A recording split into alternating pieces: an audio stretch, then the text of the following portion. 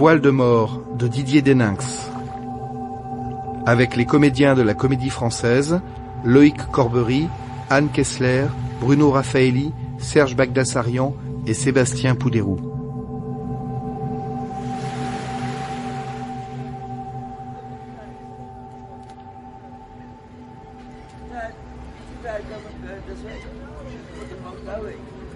Comme tous les soirs, mes pas me conduisent vers la terrasse du Rossi, sur la Kumul Highway.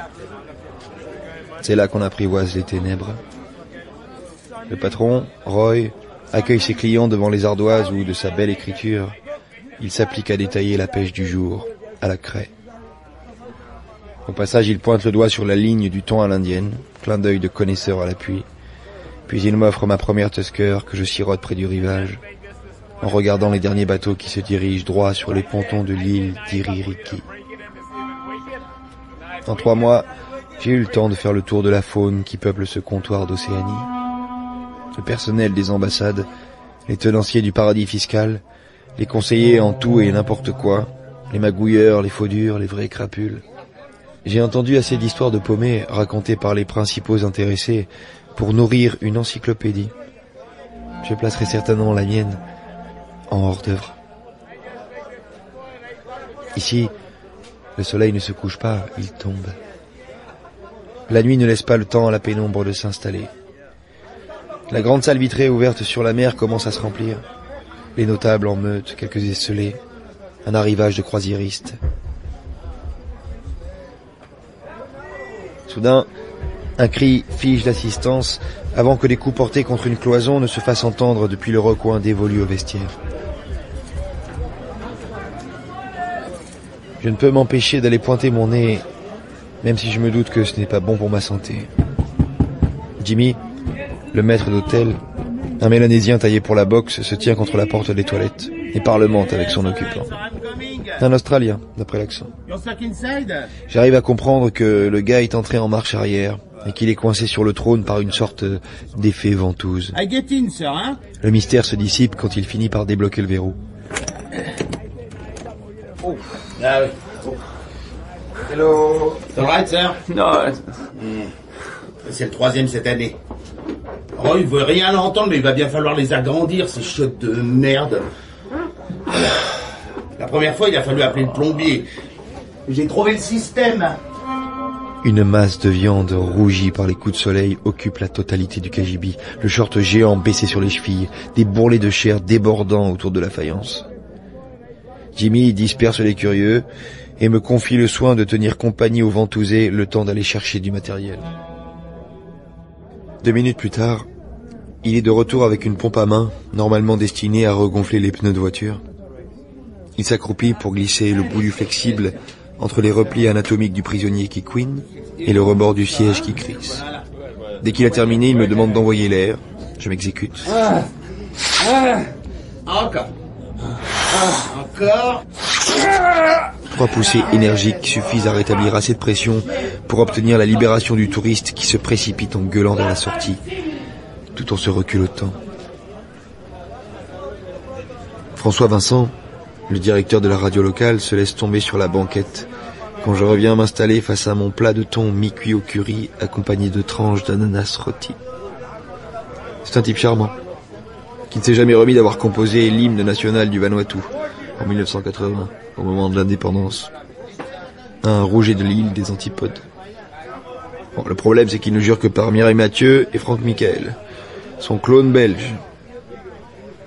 C'est grâce à lui que j'ai pu survivre quand le hasard m'a fait échouer sur les quais de Portville. Contre trois à quatre heures de parole journalière sous pseudo sur les ondes, entre deux programmes en biche-lamar, il me permettait de dormir dans un coin du studio, de me laver dans l'antique salle de bain carrelée en tricolore datant du temps des Français.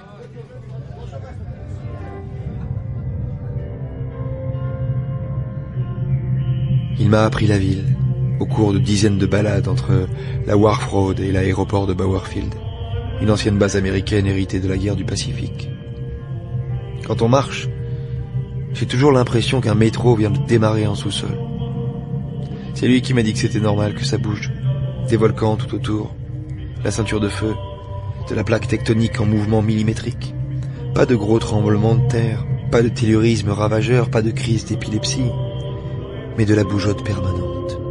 Une sorte de Parkinson à l'échelle de l'archipel. Résultat, tous fissures, se lézardent.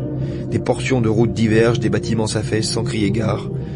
Comme les archives nationales, réduites à un magma informe de plâtre et de relures moisies où poussent des hibiscus et des orchidées. Pour résister, quand la nuit se fait profonde, les hommes se noient l'estomac au cava. La décoction des racines d'une plante de la famille du poivrier. Le goût est assez proche du produit que les dentistes injectent dans la mâchoire avant de passer la roulette. L'effet est le même. Ça insensibilise. Ça donne un curieux sentiment de dédoublement dans les muscles, les organes, les nerfs, jusque dans le cerveau. Tout ralentit. Les gestes, les phrases, les regards, les pensées, les moteurs des bagnoles. On circule à 10 à l'heure. Les secondes deviennent molles.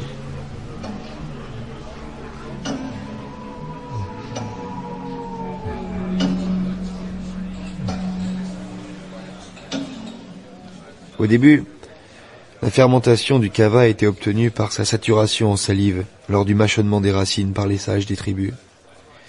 Il a suffi d'un bacille tuberculeux importé d'Europe pour exterminer des milliers de personnes.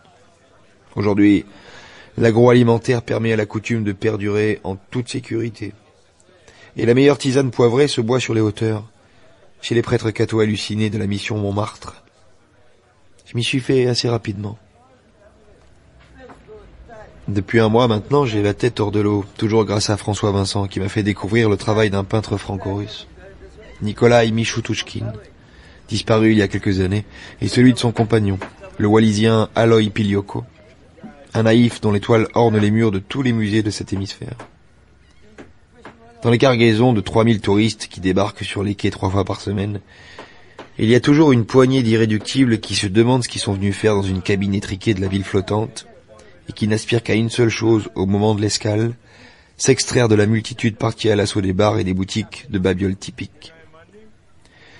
Je les véhicule dans un Mercedes de location par la route de Pango, jusqu'à la propriété d'Esnar, l'Éden tropical que les deux amoureux ont aménagé en 50 ans de vie commune. Une sorte d'anti-musée. Un parcours végétal parsemé de constructions en bois qui abritent des œuvres d'art océaniennes ainsi que leur production, sans hiérarchie aucune. Je poursuis par une visite chez trois collectionneurs installés dans des paysages de rêve, au bord du lagon des raccords. Lors du deuxième circuit, un néo-zélandais de Dunedin s'est entiché d'une toile de Michou Touchkin, un portrait rêveur d'Aloy, entouré de fleurs de frangipanier. Puis, des aquarelles la semaine suivante, acquises par un dentiste de Vancouver. Ce sont les commissions reçues à l'issue des transactions qui me permettent de régler les factures de chez Rossi. Ainsi que la note du bungalow pied dans l'eau, que je loue au mois sur la pointe de la minuscule île d'Iririki. Ce matin, en me réveillant, il fait sombre dans la chambre, comme si le soleil avait oublié de se lever. Ma carcasse n'a pas encore dissipé tous les effets du cava, et je me traîne à poil jusqu'à la fenêtre pour scruter l'état du ciel.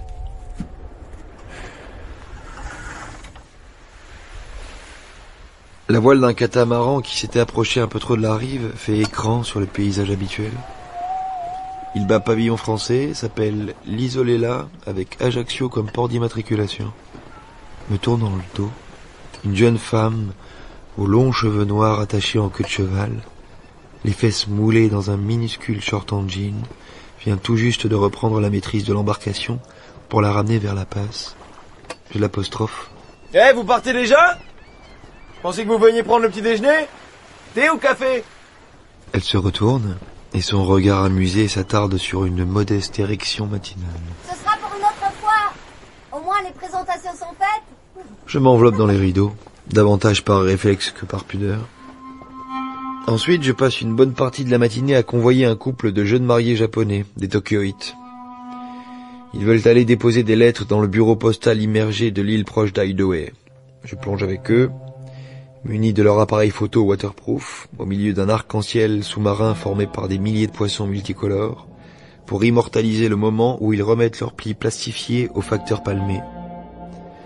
On reprend le jet ski à trois jusqu'au parking sur la route de Mêlée. Puis la voiture direction Port-Villa avec un détour par les cascades. Je les dépose un peu avant midi au Méridien, sur le lagon. en n'oubliant pas de remettre discrètement quelques milliers de vatous au réceptionniste qui m'a mis sur le coup. Quand je suis pas en vadrouille, j'ai pris l'habitude d'aller manger un morceau de poulet ou du laplape sur le pouce, dans le stand de Gisèle abrité sous la halle en bois du grand marché. Alors que je slalome entre les étals de taros, d'igname, de manioc, de papaye, de bouquets d'arachides, mon regard tombe sur le carré de toile de jean qui entoure les hanches de la navigatrice matinale. Je m'approche, alors qu'elle titille un énorme crabe de cocotier à carapace bleue posé sur une planche et retenu par une ficelle attachée à un clou. Buongiorno. Non sariate mica corso Ah, c'est vous. J'ai pas compris ce que vous avez dit. Je vous demandais si vous étiez corse, en langue du pays. Pas le moins du monde. Mais qu'est-ce qui vous fait croire ça? À votre bateau Son nom, son porte-attache Hum, Désolé, là, bien sûr. Je n'y pense plus depuis que j'ai enlevé le fanion à tête de mort. Je suis belge et j'ai loué ce catamaran le mois dernier à Nouméa pour euh, naviguer d'île en île dans l'archipel. Et vous? Moi, c'est Michel. Je bricole. Je l'invite à déjeuner. Et nous nous installons sur l'un des bancs au fond avec vue d'un côté sur les marmites et de l'autre sur l'océan. Un peu plus loin, près du parking, un groupe de Kaneka, le reggae océanien, revendique en biche-lamar Million people holy cry, cry blanc justice, million people holy die, blanc peace. Gisèle me gratifie d'un clin d'œil pour me signifier que j'ai bon goût. Puis elle nous sert d'autorité deux assiettes de soupe aux légumes d'où émergent les filets d'un poulet fiche pêché dans la nuit. À la vôtre. Santé. Nous trinquons avec nos bouteilles de Tusker. Hum, Ah oui, c'est vraiment très bon. Et vous arrivez directement de Nouvelle-Calédonie? Non, non, j'ai fait une escale à Ouvéa. J'ai j'ai plongé autour de l'épave du Fidjan, à Tana. Puis je me suis arrêtée deux jours à Héromango. J'avais lu le roman de Pierre Benoît il y a longtemps et et je voulais voir si ça ressemblait à mes souvenirs. Et alors? C'est encore mieux. Tout en mangeant, elle me confie qu'elle se prénomme Louise, en l'honneur d'une princesse belge, que son père dirige l'Académie royale des beaux-arts de Liège, et qu'elle compte rallier l'île d'Espiritu Santo, puis les îles Salomon, peut-être la Papouasie-Nouvelle-Guinée. À moins que je me décide à tenter ma chance. Elle baisse les yeux quand j'essaie de fixer mon regard sur le sien. Tentez votre chance Qu'est-ce que vous voulez dire exactement? Non, rien, rien. J'aurais même fait de me taire. La chance, ça la fait fuir quand on en parle. Et vous? Vous êtes vraiment corse? Non. Non, non, je connais cinq ou six phrases dans une quinzaine de langues. Polonais, arménien, arabe, suédois, espéranto, japonais. C'est un bon moyen d'entrer en contact. Son rire fait tressauter ses épaules et agite ses seins en liberté. Ah, mais j'avais cru comprendre que c'était déjà fait ce matin. J'ai droit à une deuxième œillade de Gisèle qui tient à me signaler que je suis sur la bonne voie. Je, vous règle la note. Incroyable.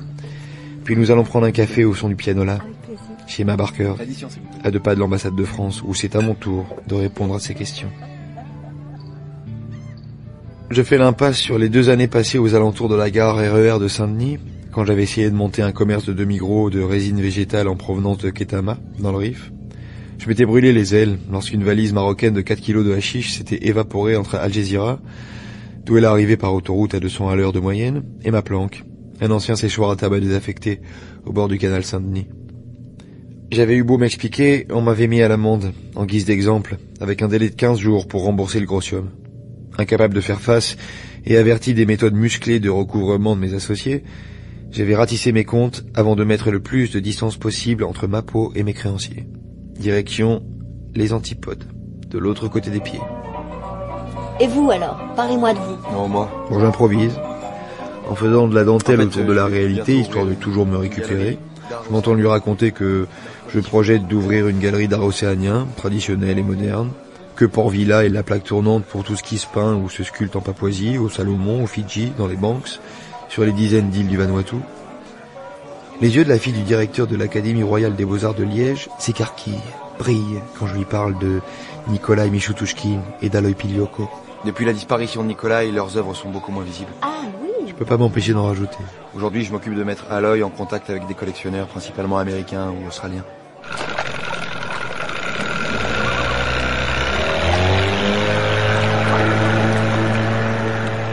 Une barque nous amène jusqu'à l'Isolella. Un engin de 8 mètres sur 4, ancré à égale distance du Nautilus Cuba Dive de la Grande Terre et du Mishners, le restaurant qui jouxte ma piole sur Iririki Island. J'ai franchi une étape en essayant le tutoiement, auquel elle a immédiatement répondu. Tu comptes rester combien de temps ici? Ça, je peux pas dire, ça va dépendre. Faut que je fasse réparer la girouette anémomètre et vérifier le sondeur. S'ils ont les pièces, je repars dans 3 ou 4 jours. Sinon, j'attendrai qu'ils les commandent. Il doit bien y avoir un chantier naval dans le secteur. Si tu veux faire du rangement, t'es bien tombé. C'est la réserve d'eau, de nourriture, de stockage du matériel. Sinon, j'habite en face.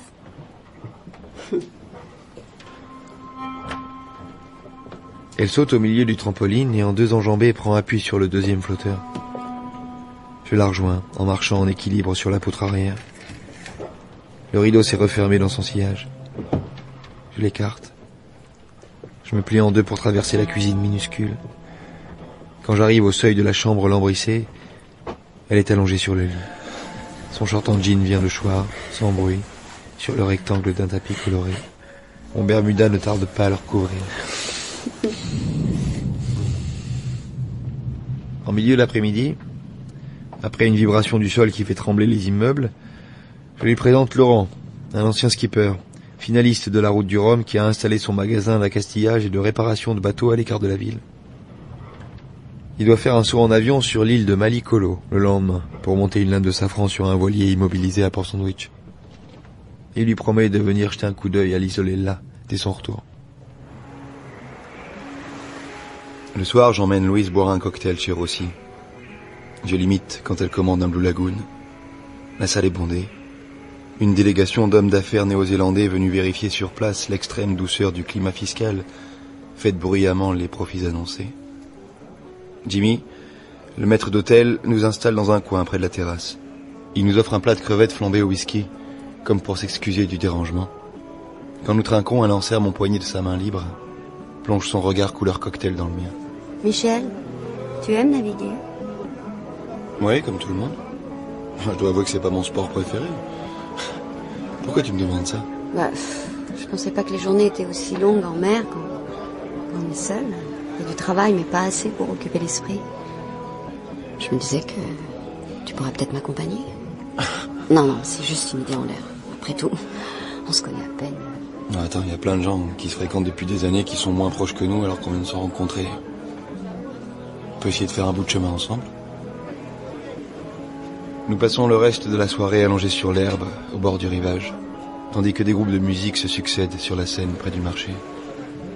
Je l'embrasse longuement tandis que Mars Melto, s'accompagnant à la guitare, susurre sa version créole de Je suis venu te dire que je m'en vais de Gainsbourg. Blanc Telem. Dans la nuit noire, je m'approche d'un passeur. Yufala Katsamsip. Il fait partir le moteur de sa pétrolette d'un geste nerveux, avant de se frayer un chemin entre les silhouettes de dizaines d'embarcations absorbées par l'obscurité. Sa barque vient mourir contre la coque de l'Isolella. J'aide Louise à grimper sur le catamaran, puis, bercé par le mouvement océanique, nous faisons le voyage enlacé jusqu'au jour suivant. C'est l'odeur de café frais qui me réveille. Parvenu à l'air libre, je lève la tête pour observer le vol d'un auto qui vient se poser sur un palmier, à la recherche de graines friandises. Un tissu autour des reins. Louise a dressé une petite table à l'arrière sur laquelle sont disposées les tasses, une assiette de bacon grillé, des œufs brouillés, une bouteille de jus de fruits de la passion. Debout, appuyée sur la baume de la grand voile, elle me regarde me servir, en grignotant une tartine de confiture. Je bois un peu de liquide brûlant. Louise J'ai réfléchi. Si ta proposition tient toujours, ça me ferait plaisir de t'accompagner. J'ai rien de vraiment urgent sur le feu en ce moment. Je peux prendre quelques jours. Elle remue la tête en signe de dénégation. Et sa queue de cheval suit le mouvement à contre-temps. Pourquoi tu dis non? Tu veux plus de moi? Qu'est-ce que je t'ai fait? Que du bien. Le problème, c'est qu'on part pas en week-end. Il y en a au minimum pour un mois et demi, peut-être deux d'ailleurs. Mais c'est pas grave, si tu peux pas venir, je me débrouillerai seule. Deux mois en mer? Tu te rends compte? Où est-ce que tu veux aller Avec un engin pareil aussi affûté, on va se retrouver au Japon. Même à Vladivostok si on n'est pas bloqué par la prise des glaces.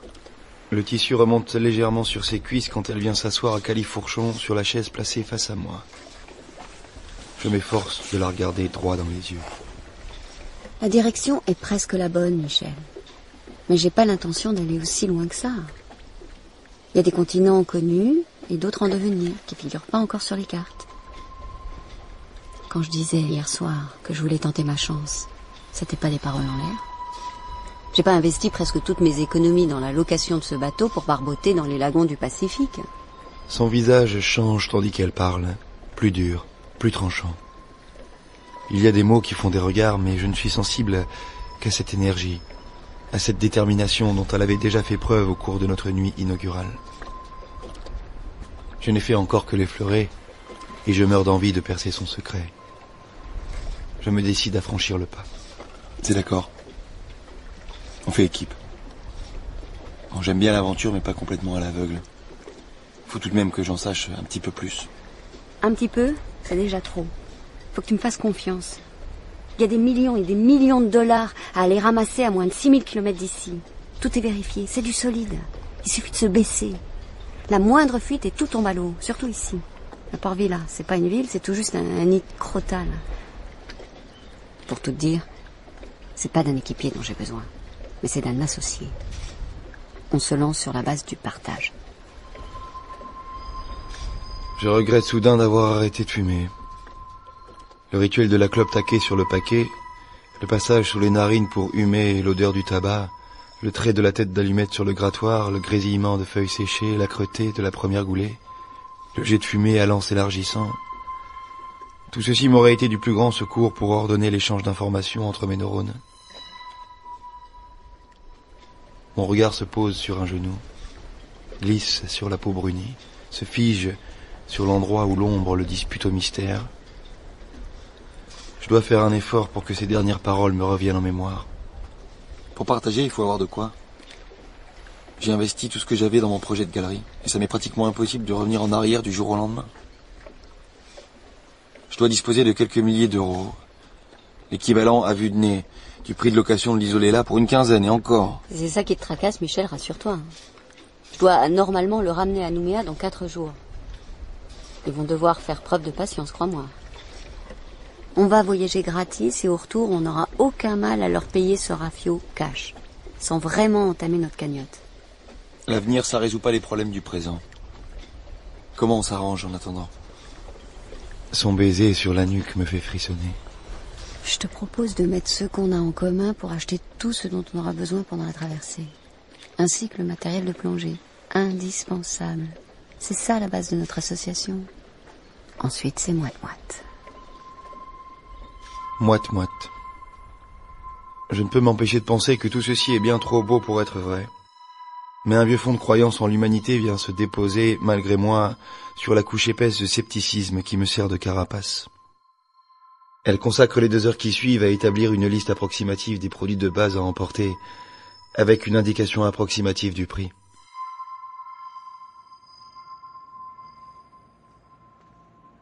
En fin de matinée, je fais un détour par le quartier des quais pour avertir Ralph, l'agent des croisiéristes australiens et néo-zélandais, que je dois m'absenter pendant plusieurs semaines d'affilée, qu'en conséquence, je ne pourrai assurer les tournées d'amateurs d'art chez les collectionneurs. Pour devancer les questions, je prétexte un séjour dans un service réputé de l'hôpital de Sydney, où on doit me débarrasser d'une hernie discale qui me fait souffrir le martyr depuis des années. Il soulève son t-shirt pour me montrer une balafre qui part du nombril et zèbre sa chair flasque jusque sous le sein gauche. Regarde, ils sont fortiches les. Je me suis fait éventrer par une hélice de hors-bord quand je faisais de la plongée au large de la réserve naturelle de Phillip Island.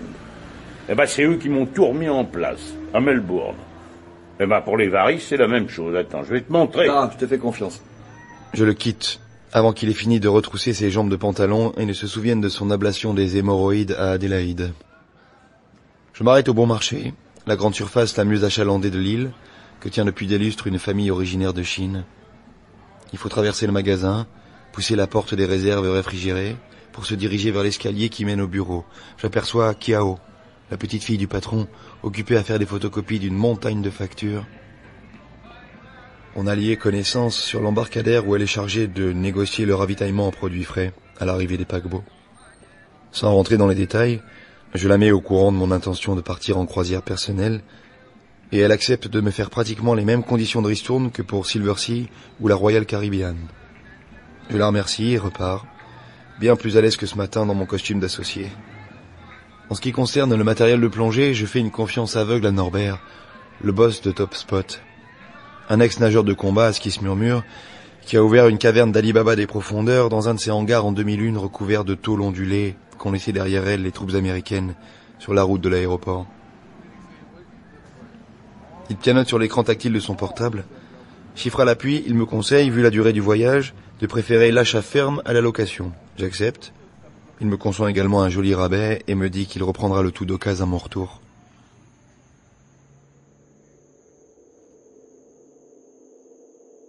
Depuis qu'elle est arrivée en Océanie, Louise n'a pas encore osé goûter au cava.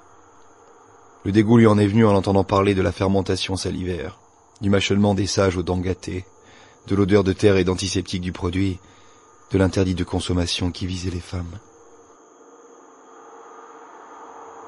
À la nuit tombée, je parviens à la persuader de m'accompagner dans un bar situé à mi-chemin du Parlement et du Nakamal des chefs, la halle en bois qui abrite le conseil coutumier. Nous arrivons assez tôt pour qu'elle assiste à la préparation du breuvage. Des racines broyées, malaxées à pleine main par un jeune garçon dans une cuvette en plastique remplie d'eau trouble, ce qui n'a pas vraiment pour résultat de la rassurer. Elle se force quand même à boire deux gorgées dans le shell, une demi-noix de coco, et se laisse choir près de moi qui vient de vider mon récipient, au calme, dans un coin obscur. Le patron s'approche. Je remue la tête alors que les premiers effets anesthésiants se font sentir. Yes, Kava is strong. Very strong. You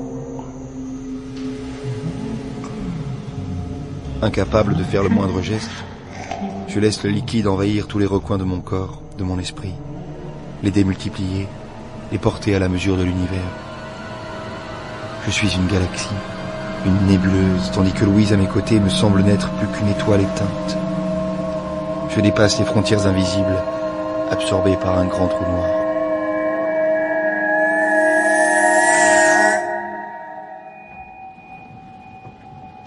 Je ne reprends connaissance que des heures plus tard, grelottant de froid dans la chambre du flotteur sans bien comprendre comment j'ai atterri là. Louise est penchée au-dessus de mon visage, à le toucher quand j'ouvre les yeux. Je tente de lui parler, mais c'est comme si ma mâchoire ne répondait plus à ma volonté. Je borborigme. Le son distordu qui sort de ma bouche me parvient dans une sorte de brouillard sonore saturé de stridence. Elle me force à avaler du café tiède, après m'avoir soulevé et calé contre les oreillers. Ah, t'es pas le seul à être dans cet état. Il était trop concentré. Je réussis péniblement à finir le contenu du bol. Peu à peu, les effets de l'overdose de cava s'estompent, mais il m'est impossible pendant encore un bon moment de retrouver l'équilibre. Et c'est à quatre pattes que je me déplace vers la cuisine pour aller respirer l'air frais. Tout est pratiquement revenu à la normale quand Laurent, l'ancien concurrent de la route du Rhum, de retour de son dépannage sur l'île de Malicolo, vient garer son jet ski entre les deux coques de l'isolella. Ses yeux ne quittent pas une seconde les courbes mouvantes de Louise, même quand il grimpe au mât pour vérifier l'anémomètre. Voilà, c'est réparé. Un choc. Sûrement un oiseau. Je vois rien d'autre qui aurait pu laisser une trace de sang à cette hauteur. La protection était enfoncée, c'est ce qui gênait. Il se contente de nettoyer la sonde, puis fait le tour du propriétaire. Moteur, voile, cordage, pour voir si rien d'autre ne cloche. Eh ben voilà, tout est en ordre pour un tour du monde. Vous l'avez loué à Jeff, celui qui tient boutique sur la baie des Citrons, non? Oui, oui, c'est ça. Ah, Jeff, c'est un bon copain, il plaisante jamais avec la qualité du matériel. Vous retournez bientôt sur Nouméa? Elle me jette un regard en coin comme pour sceller notre pacte, cette fois en face d'un tiers, et fait comme si elle n'avait pas entendu la question. Laurent, ainsi que je m'y attendais, refuse Bon, l'argent que je lui tends. Ah, invitez-moi à manger un de ces soirs tous les deux, ça fera l'affaire. En début d'après-midi, je m'occupe de libérer ma piole, d'entasser mes affaires dans un baluchon, puis j'aide Louise à lever l'ancre. Elle manœuvre pour s'approcher du wharf sur lequel Kiao a fait avancer une palette qui supporte toute notre commande. Je la suis dans la guérite où elle recompte l'alias de Vatou que je lui remets. Il faut deux bonnes heures pour tout répartir, tout caler dans les alvéoles, compléter la réserve d'eau, de carburant au port d'avitaillement. La journée est bien avancée quand nous longeons le front de mer jusqu'au hangar de Top Spot où nous chargeons les combinaisons de plongée, les bouteilles, les détendeurs, l'ensemble du matériel d'exploration sous-marine. Elle insiste pour acheter deux paires de bottes semblables à celles que portent les égoutiers. Tout est arrimé, le bateau équilibré, lorsque la nuit tombe sur notre dernier jour à Port-Villa. Nous fêtons l'imminence du départ sur la terrasse du Rossi, devant une salade aux crustacés qu'accompagne un vin blanc australien.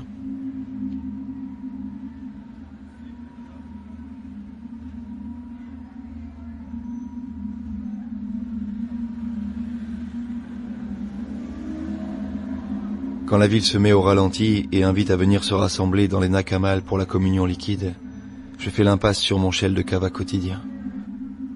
C'est Louise, ses caresses, qui me font oublier qui je suis.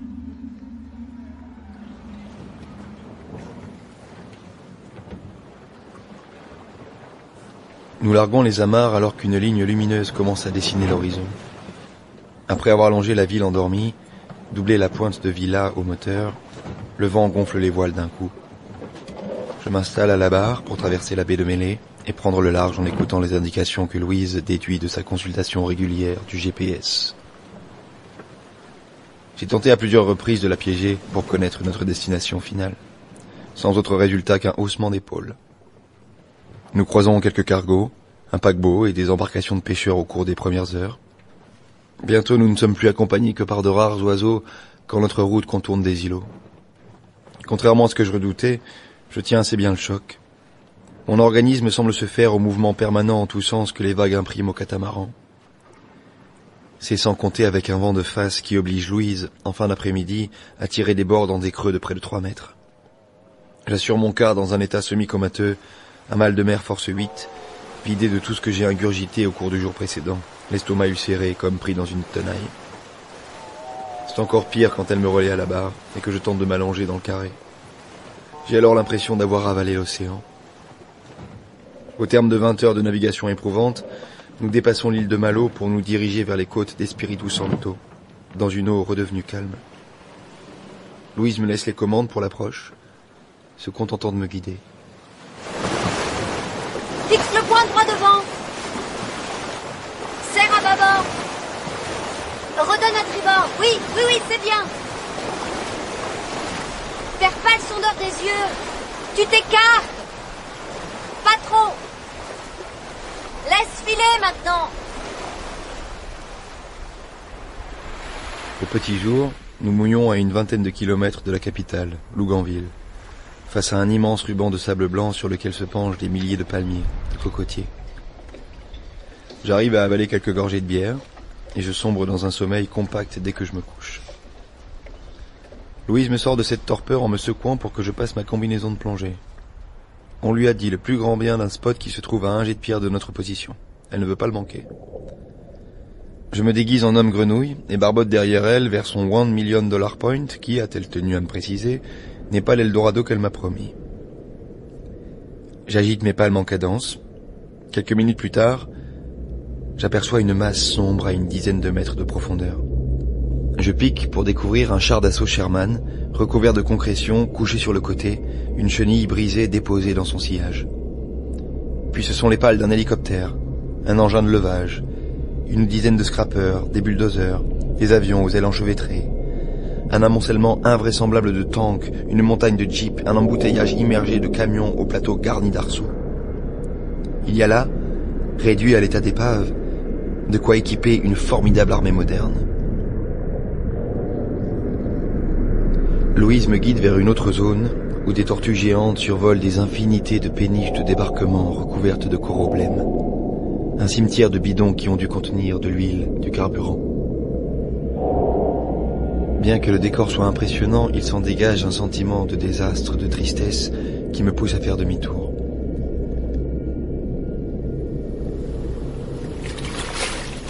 Louise se hisse à bord de l'isolé-là alors que j'ai déjà eu le temps de me débarrasser de ma peau caoutchouteuse.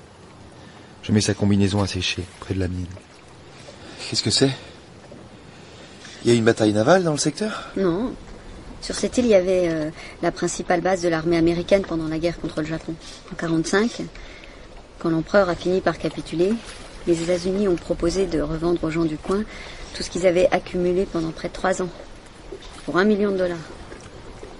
T'imagines, personne ne pouvait aligner une telle somme. Et l'état-major a décidé, plutôt que d'en faire cadeau, de tout foutre à l'eau. C'est pour cette raison que ça s'appelle One Million Dollar Point. Elle m'apprend qu'un luxueux paquebot de 200 mètres de long, le président Coolidge, transformé en transport de troupes, repose à proximité par moins de 30 mètres de fond, sa structure pratiquement intacte. Elle avait aussi prévu d'aller le voir, mais elle renonce à la balade, aussi déprimée que moi par cette vision matinale d'un monde englouti. Nous descendons à terre, attirés par l'odeur de poulet grillé qui émane d'un brasero posé près d'un hôtel pour baroudeurs, recommandé par une édition du guide du routard vieille de dix ans. Après avoir fait une rapide inspection du bateau, nous reprenons notre périple en tout début d'après-midi. Il nous faut remonter le canal du Ségonde avant de nous élancer sur la mer de Corail en direction des îles Banks puis des Salomon. Pour passer le temps, je laisse filer une ligne dans le sillage. En moins d'une heure, à ma grande surprise, je prends un bec de canne, un vivano et une carangue qui seront au menu des prochains repas.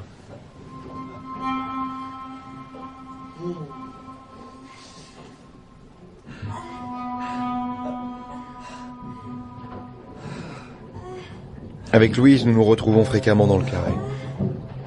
Elle était aussi d'info que j'étais éroto, et nous hissons la grand voile plus souvent qu'à notre tour. Cela a failli nous coûter cher une quinzaine de jours plus tard, alors que nous passions au large de l'île Wake, un atoll perdu annexé par les Américains et dont la piste sert de bouée de sauvetage aux avions de ligne en difficulté. Nous nous sommes laissés envahir par la nonchalance, après un nouveau corps à corps, quand je suis alerté par une série de remous dont l'amplitude ne cesse de se renforcer. Je me précipite dehors pour découvrir une montagne d'acier qui file droit sur le cap imprimé à notre catamaran. Je me mets à hurler. Louise me rejoint pour m'aider à virer de bord. Une manœuvre désespérée qui nous permet pourtant de ne pas être broyés par le mastodonte. Le pétrolier poursuit sa route sans émettre le moindre signe, le moindre son. Peut-être même que personne à bord ne nous a aperçus.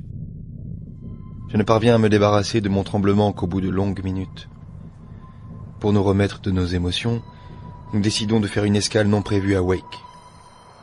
Des drapeaux étoilés flottent sur des bâtiments militaires battus par le vent, des entrepôts dégarnis, un aéroport déserté. Nos appels résonnent dans le vide de l'île abandonnée. Seuls Bruce Willis et Christopher Walken nous sourient depuis une fresque défraîchie évoquant la scène clé de la montre dans Pulp Fiction.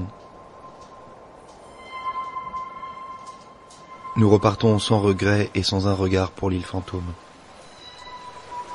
Bien que les cargos lancés à pleine vitesse représentent un danger mortel, ils signalent la présence de la vie humaine, alors qu'il nous faut maintenant affronter une immensité liquide délaissée par tous ceux qui tracent les lignes océaniques. Neuf jours sans autre lien avec nos semblables que les traces blanches laissées dans le ciel par les jets, à onze mille kilomètres au-dessus de nos têtes.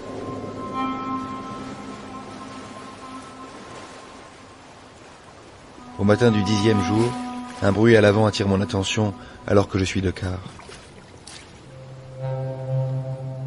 Je me penche pour voir passer entre les deux flotteurs un long morceau de bois sur lequel on distingue encore le souvenir du sigle calligraphié de Coca-Cola. Puis ce sont d'autres débris qui se mettent à consteller la surface de l'eau. Des boîtes, des bidons, des réservoirs en plastique, des centaines de déchets non identifiés. Je joue sur la voilure pour réduire la vitesse par crainte de heurter une épave plus importante. Lorsque Louise se réveille, une heure plus tard, nous naviguons au milieu d'une véritable décharge maritime. À perte de vue, ce ne sont que des vagues chargées de détritus qui forment une sorte de gigantesque poubelle mouvante. Je lui montre le désastre qui nous entoure. On est au milieu de nulle part. Il y avoir un naufrage. Qu'est-ce qu'on fait? On change de direction? Non, sûrement pas. Je me suis pas trompé. On est sur la bonne voie. Ça, c'est le signe que nous approchons du but. Il faut y aller plus doucement encore. Parce que la soupe va devenir de plus en plus compacte. Je passe une partie de la journée à l'avant, harnaché, équipé d'une gaffe, à dévier les trajectoires des objets les plus volumineux qui risqueraient d'endommager les coques. Nous nous immobilisons dès que la nuit s'annonce, perdus dans un océan d'ordures. Je ne dors que par bribes, dérangé par le clapotis des objets flottants, alors que j'avais fini par m'habituer au seul bruit de l'eau et du vent. Trois heures de navigation à vitesse réduite nous permettent, tôt le lendemain, d'arriver à destination. Impossible d'aller plus loin. L'isolé là est bloqué par une accumulation de déjections industrielles de forte densité. Elle forme une île composite qui s'étend à perte de vue. Je me tourne vers Louise. Me dis pas qu'on a fait tout ce chemin pour venir camper là, dans le trou du cul du monde. Ton idée de fortune, c'est quoi au juste? Monter une entreprise de recyclage? Elle me tend la bouteille de bière qu'elle vient d'entamer. Je bois une longue gorgée de liquide tiède pendant qu'elle me répond. Comment t'as deviné? Le recyclage, c'est exactement ce que j'avais en tête. Ici, on est sur le site de Western Pacific Garbage Patches, la plaque de déchets du Pacific West. Bon, elle s'étend sur des dizaines de kilomètres sans compter ses satellites. Tout ce qui tombe dans la flotte depuis le Japon jusqu'aux côtes de Californie, en passant par la Sibérie, l'Alaska, le Canada, se retrouve ici, poussé par les courants. Tout. On est sur le septième continent, tu comprends? Hmm. Qu'est-ce qu'on est venu faire sur ton septième continent? Planter le drapeau belge Non. On est venu faire un casse. On va aller faire un premier repérage. Louise descend dans la coque de droite, celle qui contient le matériel de plongée, sort les combinaisons, les masques et les bouteilles. Quand nous sommes équipés, elle enfile sa paire de bottes d'égoutier par-dessus le caoutchouc et me demande de l'imiter. Nous nous hissons sur le tapis mouvant, spongieux, nous enfonçant tout d'abord jusqu'aux genoux. Après une cinquantaine de mètres de marche harassante, le sol s'affermit et notre progression devient plus facile. Il nous faut faire des détours pour éviter des containers, des carcasses de voitures, de camions, un énorme chalutier éventré, le toit d'une maison. Deux heures plus tard, nous découvrons une sorte de port figé dans les décombres, après avoir parcouru moins de deux kilomètres. Il faudrait encore marcher de longues minutes, mais Louise s'immobilise avant de s'asseoir sur le capot d'une Toyota. Pas la peine de s'épuiser. On reviendra demain avec les outils et on commencera par ce secteur-là. Sur le chemin du retour, le bout de ma botte accroche un obstacle. Je me penche pour me dégager et ne peux retenir un mouvement de recul quand je m'aperçois que mon pied s'est glissé dans l'alvéole formé par une cage thoracique humaine. D'autres squelettes désarticulés jonchent la zone, mêlés à des milliers de bouteilles en plastique, des portières d'auto, des appareils ménagers, des téléphones portables, des jouets d'enfants, un canapé sur lequel des mouettes viennent se poser. Je consacre mon après-midi à fabriquer une sorte de luge au moyen de matériaux récupérés autour de moi. Elle servira à traîner le matériel dont nous allons avoir besoin. Le soir, j'improvise un petit barbecue sur lequel je fais griller des saucisses en conserve et des cubes de patates douces. Le lendemain, nous progressons jusqu'à l'endroit repéré la veille, où plusieurs dizaines de yachts, de voiliers aux coques frappées d'idéogrammes japonais se sont échoués. Louise s'introduit dans un des bâtiments les plus imposants et me crie depuis l'intérieur de la rejoindre. J'arpente le pont, descends vers une cabine lambrissée. Elle me montre un coffre-fort, semblable à ceux que l'on trouve dans les chambres d'hôtel, incrusté dans la paroi, au-dessus du lit. Bon, bah tu casses tout autour et tu te sors. D'accord? Pendant ce temps, je vais en chercher d'autres.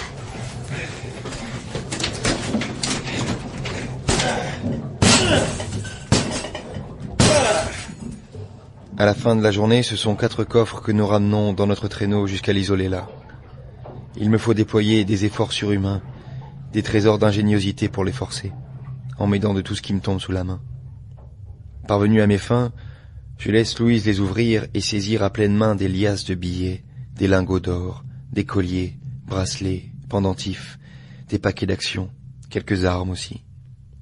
Je n'ai jamais vu autant d'argent et la moisson se révèle tout aussi riche au cours des trois jours suivants. C'est en rentrant de notre avant-dernier raid que Louise se blesse.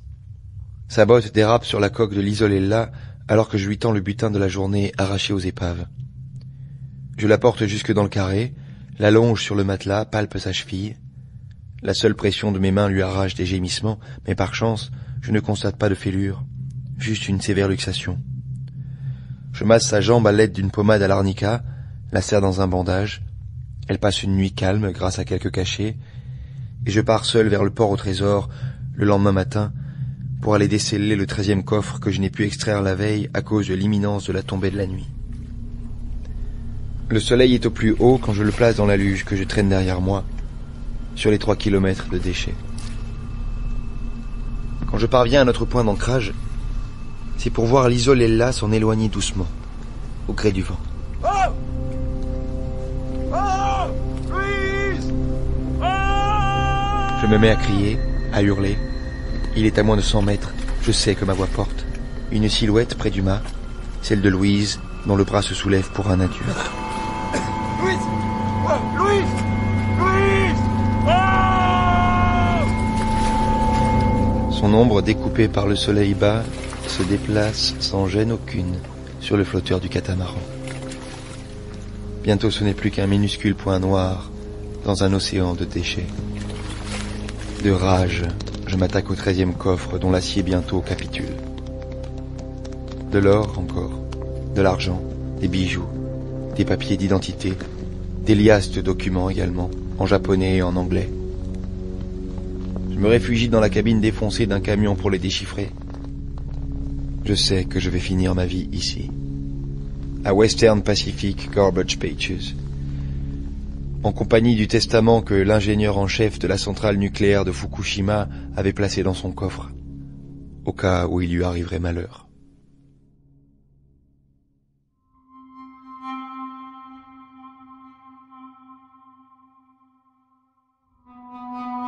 C'était Voile de mort de Didier Deninx, avec les comédiens de la comédie française, Loïc Corbery, Anne Kessler, Bruno Raffaelli, Serge Bagdassarian et Sébastien Poudérou.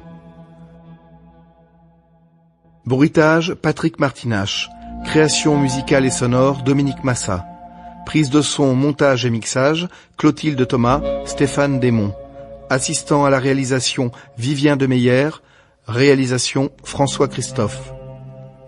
Retrouvez en kiosque la collection des petits polars du monde avec SNCF.